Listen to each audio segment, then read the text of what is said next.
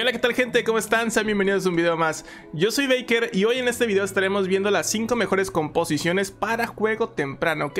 Las 5 mejores salidas, se les llama. Las fichas de costes bajos que te van a ayudar a ganar juego temprano, es decir, la etapa 2, las primeras etapas de la partida, para que pues justamente eso, puedas ganar las primeras rondas, no estés perdiendo mucha vida o también no te encuentres muy perdido de decir, brother, ¿qué rumbo tomo? ¿Hacia dónde voy? ¿Qué puedo jugar? ¿Qué me sirva? Acá te voy a traer las mejores fichas para que inicies, ¿ok? Así que quédate hasta el final del video. Y bueno, antes de iniciar eh, este video, recordarte que tengo un sorteo activo en mi Instagram de un pase de batalla de tierras dracónicas para cualquier servidor. Así que si quieres participar, ahí tienes el link de mi Instagram en la caja de la descripción para que puedas ir al sorteo. Pero sin más, comencemos ya con el video. Y bien, una de las primeras salidas que te voy a mostrar, ya la viste ahorita en la intro, pero es esta de 3 Jade con 3 Dracomantes, ¿ok? Es una compo muy bonita, de hecho, que tiene muchas cosas, como puedes ver aquí. Esto es a nivel 5, ¿ok? A nivel 5, que es más o menos pasando carrusel, ya deberías tener esta mesa, ¿ok?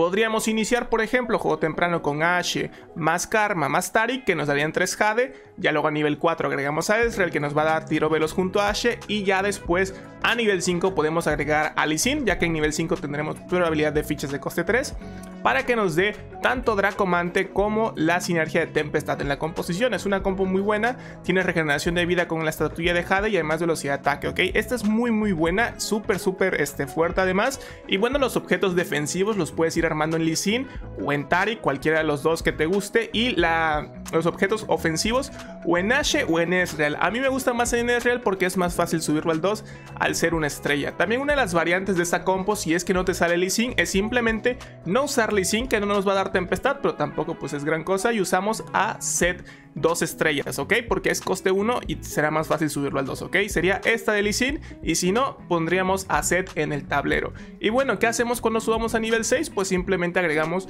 una leona, un bram, un trash cualquier campeón que sea guardián para que tengamos esta sinergia y esta sería una mesa muy muy buena con tres tanques y tres fichas que hacen daño que sería Karma, Ezreal y Ashe. Esta es muy buena, yo creo que es la que más te recomiendo porque es súper súper estable.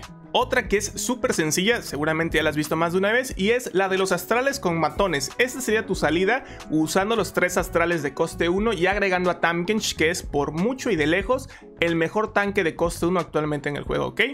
Entonces tenemos nuestros tres astrales de juego temprano y agregamos Tamkench a nivel 4, ¿sale? Ahora, ¿qué hacemos cuando subamos a nivel 5? Pues bueno, esta sería la mesa que querríamos a nivel 5. Sustituir a Nidalee por una Nami y agregar a Heimerdinger o Lilia o cualquier mago para que nos dé pues justamente tres magos con Vladimir y Nami. Los objetos de regeneración de mana o daño de AP los podemos ir poniendo en Nami o inclusive la podemos jugar tres estrellas. Ciertamente hoy mismo que estoy grabando este video la van a nerfear, pero igualmente va a seguir siendo una salida muy fuerte para juego temprano. Así que los objetos pueden ir eh, en Nami en juego temprano y los objetos defensivos en Tamkench, ¿ok? Y bueno, ¿qué hacemos cuando subamos a nivel 6? Pues agregaríamos simplemente una Lulu a la composición, ¿sale? Es exactamente la misma compo, pero con una Lulu que nos va a dar místicos y, o sea, junto a Nami, y además nos va a activar la sinergia de entrenadores con Heimer para poder tener a Nomsi en el tablero. Va a ser una ficha más que va a aportar corta curaciones. Esta otra mesa también es una muy buena para juego temprano y es la mesa de cañoneros con jubilosos o rebel. Yo le voy a decir rebel porque la traducción a jubilosos me parece espantosa. También llevamos entrenadores. ¿Qué llevamos? Pues bueno, lo primordial sería que para juego temprano, o sea, nivel 3, tengamos Tristana Heimer para tener a Nomsi lo más pronto posible y comenzar a alimentarla y agregar un Tamkench para que sea nuestra línea frontal. Ya a medida que subamos a nivel 4 podemos agregar a Cena y a nivel 5 si es que ya tenemos una Jinx en la tienda pues justamente agregarla y tendríamos 3 cañoneros, 2 jubilosos y 2 entrenadores. ¿Qué haríamos a nivel 6? Pues simplemente agregar cualquier matón de todos estos. Nos puede salir Skarner, Shen, Ilaoi, Olaf, Silas, cualquiera que nos salga. Lo agregaríamos para tener más línea frontal en la composición. Los objetos de daño que vayamos teniendo los iríamos poniendo en Tristana y los de tanque en Tamkench. Esta es una también de mis salidas favoritas y es una de tiros veloces con guardianes. ¿Qué hacemos? Pues en juego temprano iniciar con Leona y Tarik que son coste 1 más Ezreal, ¿ok? Ya tendríamos línea frontal y un campeón que hace daño. A nivel 4 agregaremos un Twitch que nos va a dar tiro veloz para Ezreal, además de la sinergia de Guild, que se me acaba de olvidar cómo se llama en español, gremio me parece, es gremio. Y eso nos va a dar un 10% de velocidad de ataque a todas nuestras fichas, ¿ok? Y a nivel 5, como ya mencioné, pasando carrusel, debería ser ya nivel 5, agregas a Quillana para tener la sinergia sinergia tempestad y que te aporta utilidad, ¿ok? Estos dos campeones, cualquiera que subas al 2 primero, Tarik o Leona, le pondría los objetos defensivos y los objetos de daño a Ezreal. Si por ahí subimos a Twitch al 2 antes que a Ezreal, pues evidentemente pondremos los objetos en Twitch. Y bueno, ya para nivel 6 lo que haríamos sería quitar a esta Quillana de por acá y agregar dos guardianes más, que en este caso son Tresh y Brown. Si te das cuenta, los, guardianes son de coste 1, Tarik Leona, y luego de coste 2, Tresh y Brown. Entonces esta, esta salida es súper, súper, súper sencilla de sacarla, porque son fichas tan de coste bajo que va a ser muy raro que no te salga al menos una copia de ellas. Entonces vas a tener cuatro guardianes con dos tiro dobles, vas a tener muchísima línea frontal y Ezreal y Twitch, que son excelentes fichas para juego temprano, hacer daño y se vayan bajando a todo el mundo, ¿ok? Ya sabes, los objetos defensivos en la ficha tanque que subas primero a dos estrellas. Y ya como último y cereza del pastel, otra salida que es muy fuerte es la de los cuatro matones, ¿sale? En este caso, pues bueno, yo tengo acá Skarner, Shen, Tamkench, que son los de costes más bajos. Y si te das cuenta, después de ellos los matones que siguen son Ilaoi, Olaf y Sylas, que son de coste 3. ¿Cuál usaremos? Pues el primero que nos dé el juego. Si nos da Sylas, usamos Sylas. Si, si es Ilaoi, Ilaoi. Si es Olaf, pues Olaf. En este caso, en el caso que tengamos Olaf desde juego temprano, le iríamos poniendo objetos de daño a él. Inclusive podríamos quedarnos jugando esta composición de matones.